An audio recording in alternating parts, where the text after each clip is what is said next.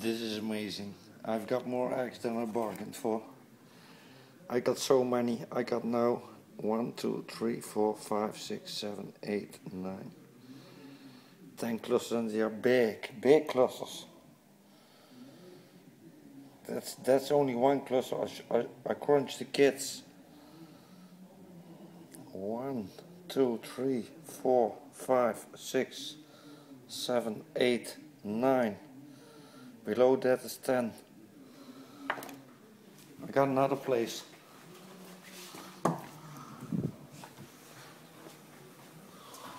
I want to remove it, but I can't.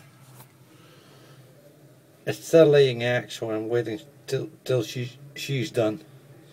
They are dying now. There are not so so many left now. Although maybe there are there are more eggs. You see? I scrape it on, and we'll see what's what's under it.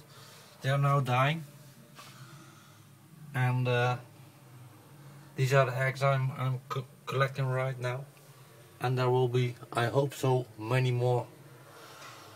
I got it at 25 degrees, 50 to 60 humidity, most 60 to 70. I try to get the table side that they won't leave. The light is good. I scratch them from, from the bottom. They die in water, I don't know why.